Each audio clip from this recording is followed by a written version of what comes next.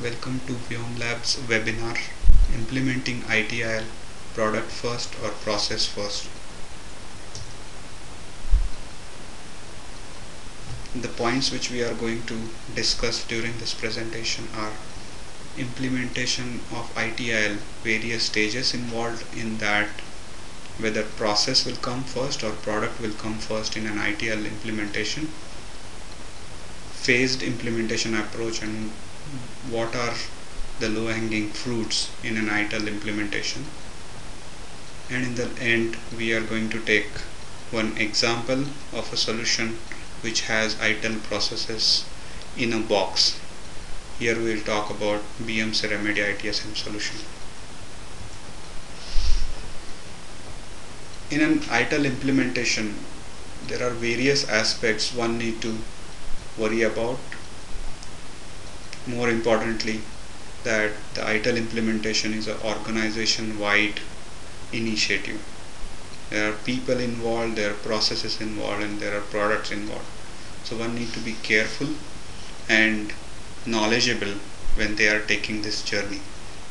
As you all know, uh, the ITIL version 3, there are five core books service strategy, service design, service transition, service operation, and continual service improvement.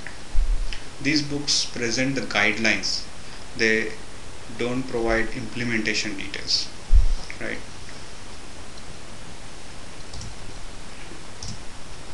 So, when one is taking the ITIL initiative then what are the typical stages through which the project goes the slides talk about that there are four stages and then there is a continual improvement cycle which you have to go through so the first stage is assessment second is planning third is implementation fourth is manage we'll go a little bit in more detail on these various stages of ITIL implementation cycle.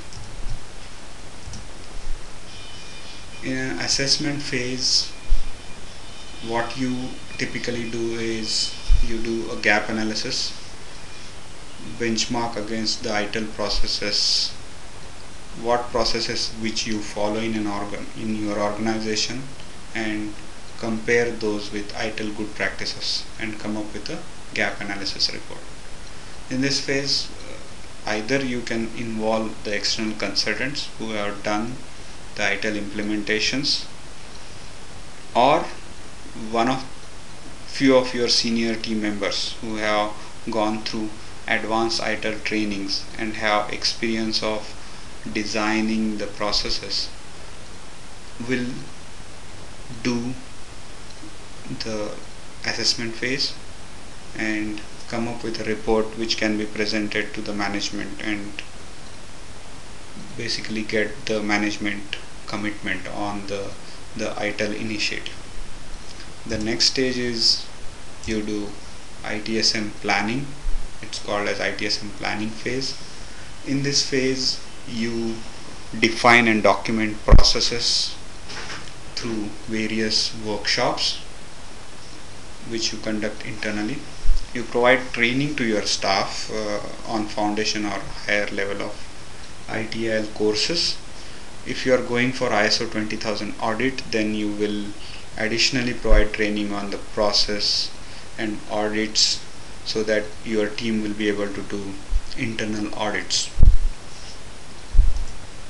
In the implementation phase, what you typically do is have the technology implemented have the customizations done in the technology or the products which you choose uh, based on what processes are defined in the earlier phase and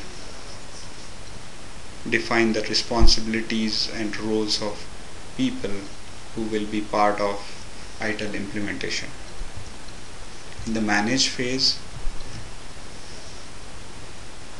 you will have the the the the ITIL implementation going into production in the sense that it is it is organization wide implemented and you are there to find service improvement areas fine tune the reporting etc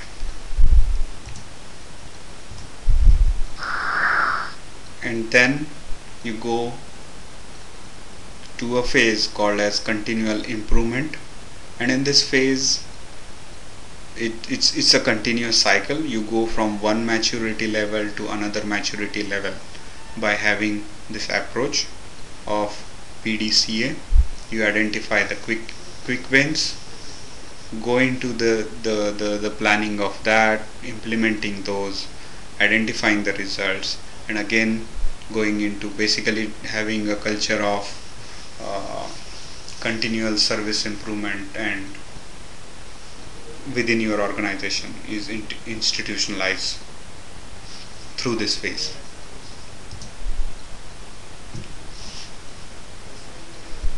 We have seen the various phases through which the ITIL project goes and we have seen that the technology is talked about in the implementation phase.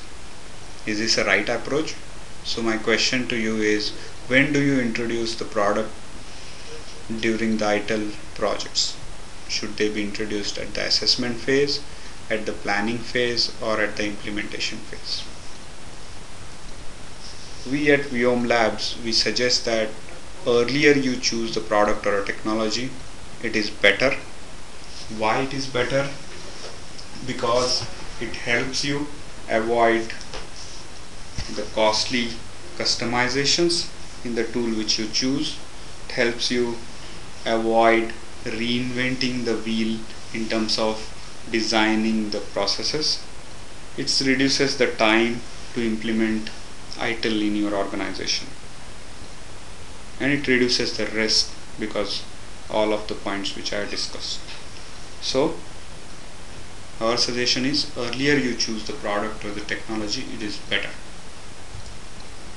We'll talk about in little more detail in further slides on why to choose product first let's let's go into another view of the organizational ITIL initiatives. Various projects uh, organization can an organization can take in the in the ITSM journey. So if you see here in the slide there is a user and there is a business. And they interact with IT through two different ways. One is the users basically interact with IT through service desk and business interacts with IT by defining SLAs and service level management. Users can have additional mechanism to interact with IT having service request management system in place. on the other side of IT if you see there are different IT devices and applications and databases the storage devices the SAN Oracle MS SQL databases different databases networks mainframe systems applications and middleware. So if you see uh, the different projects ITIL projects the organization can take we are talking about the projects can be like designing and implementing service desk or the, the projects can be in terms of monitoring and event management systems and processes putting in place for an organization so then you can have CMDB projects and automating uh, the updation of CMDB using discovery tools. Depending on the maturity of the organization, the organization may have the monitoring systems in place. In that case, they can have the initiatives like putting event management system, event correlation systems in place. then the impact management systems which basically give the service impact they don't talk only about a server being down the impact management systems help you attach a dollar value to a outage by having an integrated view for the CIOs can be different projects like change management initiatives in your organization or asset management initi initiatives. Or you are at an advanced stage of maturity and you can have capacity management I have many servers underutilized in terms of their capacity uh, CPU computing capacity or storage capacity and then you may have initiatives like software configuration management and putting automation in terms of putting patches on the servers, compliance achieved on the servers and desktops and things like that. You can have identity management initiatives and then when you put all these systems in place and processes in place you may have advanced initiatives like having dashboard and analytics for the CIO to do slicing and dicing of data and things like that. So if there are so many ITIL initiatives possible in an organization, what is that I should be doing first if I am starting my journey on this ITIL and IT service management path. So this slide talk about this the phases now in terms of what is the typical first phase I can what all things I can do in the first phase what all things I can do in phase 2 phase 3 phase 4 and phase 5 so these are not hard boundaries depending on your organizational state. You may want to choose one phase or the other as the first phase.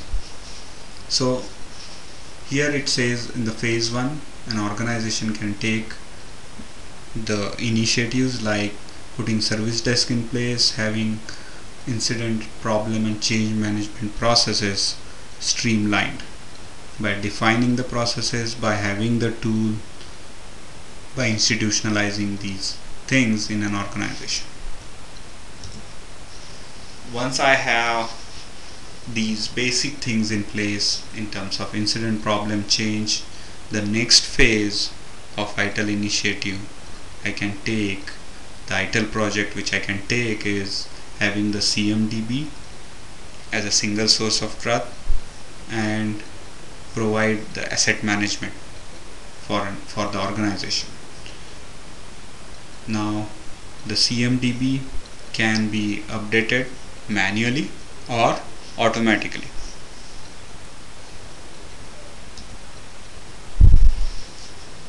So once I complete the phase 1 and phase 2 in my organization I am basically acting uh, in a reactive fashion is where something goes wrong and users report those issues I am typically able to act on them do problem analysis implement those changes which are required in IT if they need to be implemented so so it's till now it is the reactive approach phase 1 and phase 2 when I enter in the phase 3 I start becoming proactive. In the phase 3 I do establish the infrastructure monitoring tools and have some kind of automation so that if anything is as an event generated in the infrastructure some anomaly being there I should be able to connect it to a service desk system and have the ticket generated so that my support staff start acting on those events immediately rather than users when the users report it. So it's like a starting of proactive approach by IT in the phase 3 in the phase 4 what I would do is have the service impact and analytics tools put in place. So I have basic event management system basic monitoring tools in place.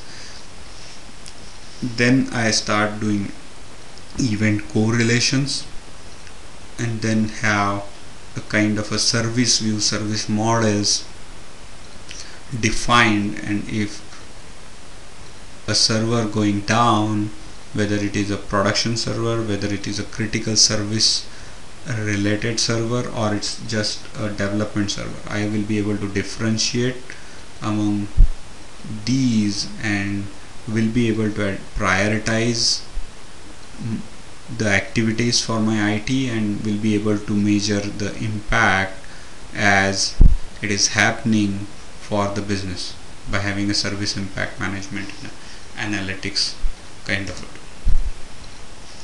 In the fifth phase I will take the initiatives like provisioning, patch management uh, and configuration automation kind of initiatives wherein I put in the client automation, the, the desktop automation as well as the server automation in place so that when there are patches released by the OS vendors, the database vendors or the security patches I would be able to apply them roll back those changes able to define policies and able to find the compliance quickly than having a manual approach. So these are different phases and different ITIL projects an organization can take.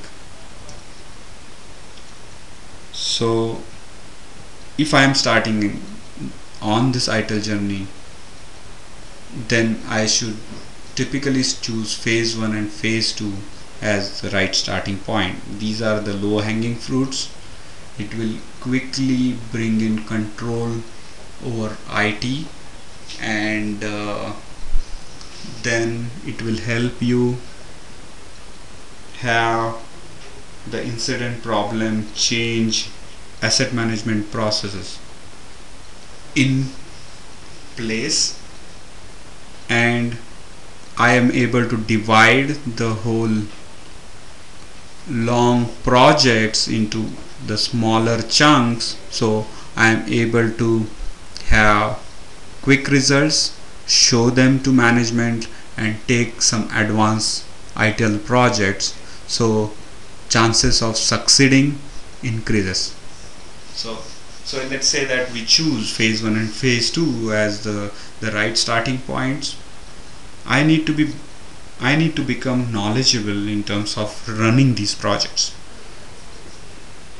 so the ITIL books can be the the right source of information for you to become knowledgeable to do justice to your buying decisions in terms of the, the consultants, in terms of the technology which you are going to choose. So let's go into little more detail of this phase 1 and phase 2 and how do they map in terms of ITIL V3 books. So if you see these phases they map to three books in ITIL. Uh, one is service operation, incident problem and request fulfillment. The other is service transition in which asset and configuration management is talked about and change management. And the service design book in which service level management is talked about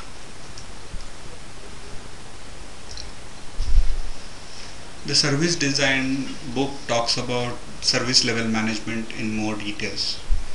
So in the book you can see that the tools should define should allow you to define document monitor measure report and review the level of IT service provided.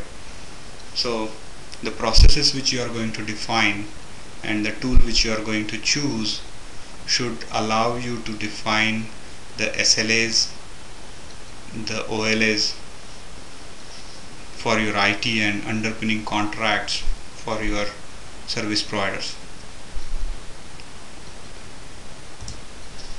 The service transition books book talks about service as asset and configuration management and the change management. So when again when you are defining the processes or choosing a tool for change management let's say then that tool or the process should allow you to record evaluate authorize as a cab prioritize plan test implement document and review the change in a controlled way right? It should have different procedures defined for normal standard and emergency change. The service operation book talks about incident problem and request fulfillment. So again the book will give you the detailed idea in terms of whether a process defined or a tool bot is able to provide you incident management process as per what defined in ITIL as a good practices framework so the incident management tool or a process should allow you to define priority based on impact and urgency. The problem management tool should or the process should allow you to have the known error database. Request fulfillment for channel to request and receive standard services it should allow you to do that. So we have seen the books and the mapping of the the phase 1 and phase 2 the phases which are the low hanging fruits and how do they map to the different books and the sections in those books. So you can read those sections refer to those sections and become knowledgeable to contribute in the process and as well as tool selection. Now when we once we have gone through the details of ITIL books let's try to find out is there something like a ITIL processes in a box. Our experience is that there are good options available to have something like ITIL processes in a box. This is a when you are deciding in terms of the tool you can have a checklist based approach and which will help you find out if the product or the tool which you are choosing is ITIL compliant or a compatible product. Why do you want to choose ITIL compliant or a compatible product is because it follows the ITIL terminology. So whoever the your IT staff members they already would have gone through various ITIL workshops and trainings they would be able to correlate what they have learned and talked about in those workshops to what is there in the tool. So they follow the ITIL terminology. These good tools some of these good tools they are implemented across geographies across verticals and different size of organizations. So you get the maturity which is coming out of those many implementations. And then some of these tools are v3 compliant products. Ogc has come up with something called as the product certifications. And when they certify they basically check in terms of products are ITIL process compliant meaning that the tool uses the terminology and prescribed best practices of ITIL v3 so we thought of taking one of the example to help you understand what kind of features and benefits one can get by having the things something like ITIL in a box. So we have taken here an example of BMC remedy as ITSM7 as a tool right and if you see why we are choosing that as a tool because that is one of the the tool which which got the certification at a very early stage when OGC announced it so so we'll take that as one of the good example for you to help you visualize the ITIL in a box kind of a concept. So BMC Remedy ITSM 7 tool basically consists of asset management, change management, service desk kind of functionality. So we'll go in more detail of that. So going into more details, the service management process model is a kind of a visualization tool which will help you understand what kind of processes, procedures and work instructions that are defined in BMC Remedy ITSM 7 tool. So this tool is coming is been built over the period and has the learning captured of 100 plus service management implementations so you get all that maturity of those many implementations within this visualization tool as well as the solution which BMC calls as BMC Remedy ITSM 7 has all these work instruction processes and procedures inbuilt within the tool. So it helps you in terms of uh, save months of efforts in terms of process definition. CMDB is an important piece in an ITIL project so the CMDB can should become a single source of truth and the CMDB can be a federated uh, can have a federation op option. And the CMDB should be continuously updated by having some kind of a discovery tool so that uh, your manual efforts are reduced and CMDB is up to date as per what is changing in your IT. A service desk tool typically should help you have incident and problem management ITIL best practices captured within the tool. It should have incident templates and matching. It should have multi-tenancy features so that you can have the tool configured for a larger organization where there are multiple organizations within the organization and you want to have a data separation.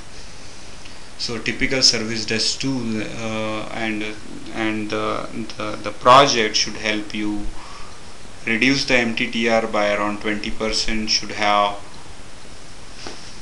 increase the first call resolution by good amount of percentage should have helped you reduce the incident registration time significantly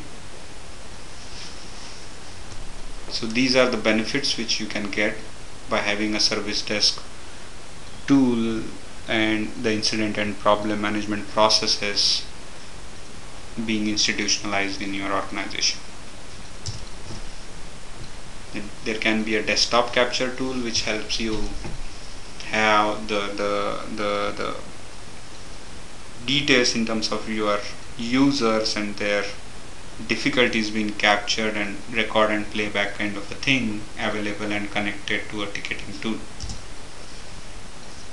A change management tool and the process should have help you in terms of change impact analysis collision detection right? And uh, it should have help you in improve the planning and deployment.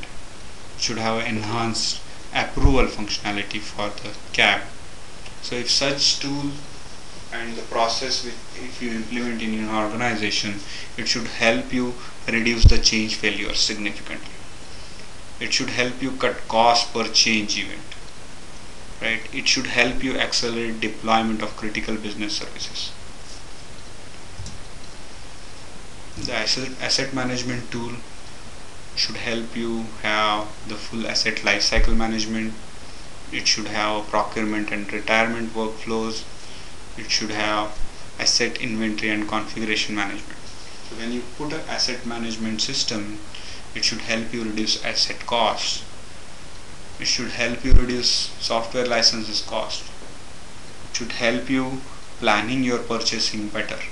It should help you optimize your contracts with your vendors because you are getting a consolidated view in terms of whom you are paying how much you are paying when is the expiry of AMC and things like that. A knowledge management system which is the important piece in terms of having the decrease in MTTR so the knowledge management tool should allow you to have the workflow required for publishing and retiring the articles authoring the articles. It reduces the training time for new employees. It reduces the MTTR and it helps you publish the content faster on, on the knowledge management system. The dashboard and analytics tools they give you the organization level view in terms of vendors and budgets for them. You will be able to observe the the different different services which IT is providing to business and what how that service is performing in terms of its changes, change failures, incident, the, the, the, pending incidents and things like that. It's kind of a dashboard for CIOs and it will allow you to do some kind of a slicing and dicing of data so that you get a good analytics coming out of the data generated through the ITSM tools. The service management tools should help you have SLAs defined. You should be able to find out the penalty, reward and impact of cost graphs. It should basically integrate with other processes like incident problem change so you will be able to define SLAs for them in terms of response time resolution time should allow you to do escalations to the higher managers when certain milestones are reached and the incident is not resolved so basically the benefit you get is end-to-end view of service delivery right? And you are able to align IT with business priorities by having SLAs defined. So so I am at the end of the presentation now. In conclusion I would like to say that ITIL and ITSM is a journey. It's not like you can you want to chew everything at one shot. You will take phase have a phased approach and in this phased approach you can have something called as low hanging fruits the processor and function which are to be done in the first phase second phase. You can identify those and attack those rather than trying to address each and every process and the functions introduce the products or the technology at a very early stage of ITIL initiatives which will help you reduce the cost in terms of costly customizations the risk of having a very long cycle of ITIL definition time and something like reinventing the wheel because these ITIL products come with inbuilt ITIL processes. Since you are choosing the product at a very early stage, you can have a checklist based approach for the product selection because you have not defined the processes when you are choosing the products. And go for proven products which have ITIL processes inbuilt because the last thing you want to have is that you are in the middle of ITIL projects and you find that the tool is not able to meet the requirements of your organization. And kind of this would be a disruptive thing and replacing tool again be a big challenging and costly affair. So go for a proven product. That would be our suggestion. That's it. Thank you